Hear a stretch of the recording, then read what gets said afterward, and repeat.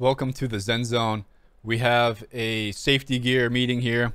Safety gear. I'm going to go over some of my favorite safety gear and talk about some safety gear that you should absolutely have. Uh, first off, it looks like we have a unfortunate accident and we have a video of this. He's kind enough to pro provide his dash cam. We're going to go over that real quick and analyze his riding.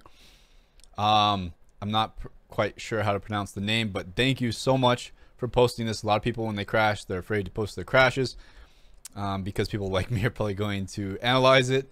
And I have to do it for safety reasons, all right?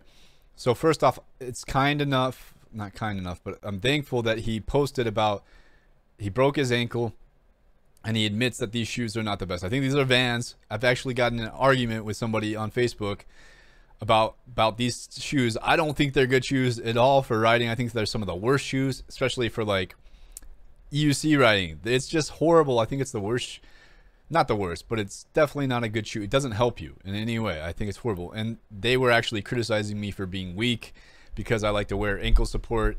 And yeah, I mean, our ankles, I was going to show my ankle, but our ankles are pretty weak, right? Especially if you're not like a, if you don't do like a lot of squats or anything like that, or a lot of agility exercises, your ankles are weak and so are your wrists, right? That's why we wear wrist guards there's no ankle guards except for the shoes that you wear. Your shoes are your ankle guards. Vans are not acceptable in my opinion. Should not ride with Vans. Poor guy broke his ankle. Oh, he feels pain. I hurt my ankle on my MCM5 when I wasn't wearing the proper shoes. Uh, and even if you are still, I'm not saying proper shoes can actually stop an ankle break, but they will help. They will absolutely help. Will it stop it? It's hard to say, you know, on the impact and everything right now. So we're going to go over the shoes I like, and I actually have a video that I'll post uh, uh, here. These are mine. These are these are military type boots. You can lace them up. They're super comfortable. I love them. They didn't look too good on the webcam right there. I'll show some. I'll put like an Amazon overlay here, and then I'll show some Cycle Gear boots. I went to the Cycle Gear store the other day, and we'll show some boots here.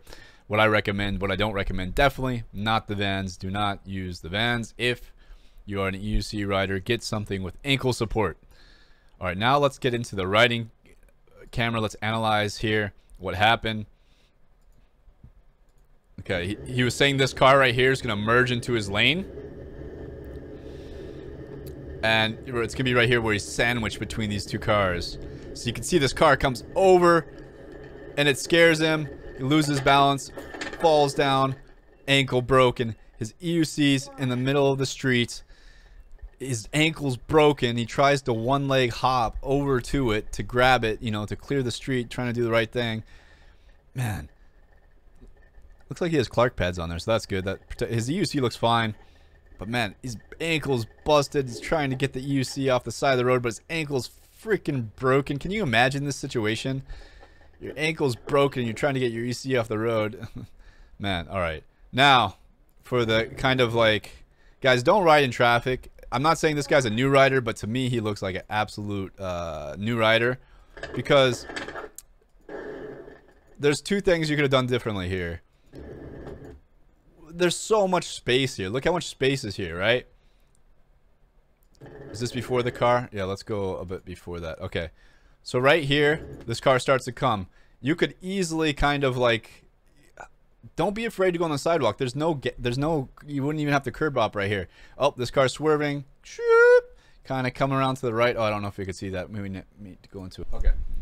We just got rid of the webcam there. So right here, you see the car starting to come over and there's not even a car really close behind. So you could just brake and either go onto the sidewalk here, go onto the sidewalk. He's not going fast at all. Or the car didn't even cross the line, but oh yeah, it did cross the line here. The biggest thing too is visibility. You're riding at night. You need like some orange stuff on or some yellow, and even then, I'm not afraid to ride on sidewalks. Like if they're open and there's a lot of traffic, I'll hop on the sidewalk. I don't like. There's no shame in that, and you just take it easy. It's all about risk and reward. Like you don't need to stay in the bike line if it's nighttime. There's low visibility's low who knows what night this is, people are drinking, whatever. It's better just to stay on the sidewalk and take it easy if you're commuting.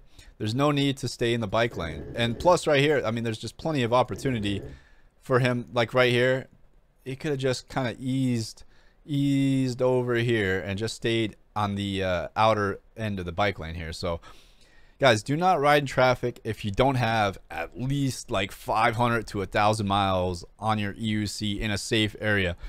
It's super easy to, I feel like he like just, I'm not saying it's his fault because this car definitely like pressured him, but that's going to happen.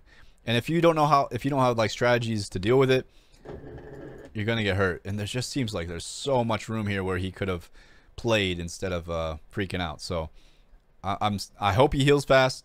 I'm sorry to criticize, but I must put on put out so that others don't make this mistake. See, riding in traffic is no joke. You can die. People have died riding in traffic, and uh, it's not safe at all. I mean, it's super safe if you're experienced and you know what you're doing. Like I would have just stayed on the sidewalk or like veered over but I have a lot of experience. I have 20,000 miles on my UCs. So, uh, yeah, guys, be safe out there. Make sure your buddy's being safe. I'm thankful he's wearing his protective gear, just not the shoes. The shoes, you know, are very important. All right, next piece of safety gear. Let's get into it.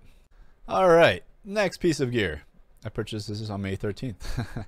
this fanny pack here, all right? I know fanny packs aren't like hip or fashionable or whatever, but man, the reason I got it is because I kept breaking my lower ribs. I've broken my lower ribs twice. For some reason, when I crash my body type, I hit my lower ribs and they break easy. They're tiny and they break easy. So I was like, man, I need something to like stop the impact from hitting my ribs. And boom, I saw this. I was like, man, this thing is going to do it. And I tested it out yesterday. Was that my crash yesterday? My crash yesterday, tested out in my crash phenomenal. Check out the damage on this. All right, I'll just show. I'll put up some pictures of it. Um, quite a bit of damage it took. That would have been my ribs, my balls, my hip. I mean, it kind of went off to the side and covered my hip because I have it loose, which was perfect. So, man, I, I can't recommend this piece of gear enough. Plus, you can just put your stuff in there. You know, you put your like camera gear in there or whatever you need to. Really can't recommend this enough. Um, yeah, and also another piece of safety gear that I recommend is some kind of chest protection. I actually have this one here. I have the hard shell elite and then I have this. I have, what is this? What brand is this? Speed, uh, Troy Lee Designs. Uh, I don't even think this one was too much, and I actually prefer this one to the hard shelled one. And if I'm racing, I wear both of them. Like if it's a competitive situation or a high risk situation, I wear both of them.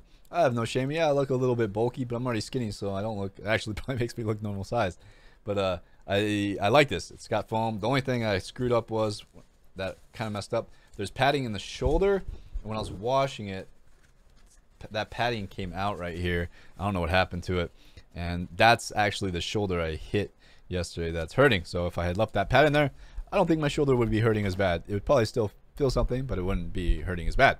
So that's some safety gear tips for you. Feel free to let me know what safety gear you guys recommend. Definitely, to recap, recommend some kind of ankle protection. And the only ankle protection you can get is shoes, support, uh, many different kinds. You know, I showed you the military boots, some cycle, some things you get at Cycle Gear. You don't want too thick. There's like a happy, uh, happy medium with these shoes. You don't want too thick. You don't want uh, too too thin. All right. So that's it for this video, little safety gear video. I hope you enjoyed. I'll put some links below. And until next time, stay in the Zen Zone.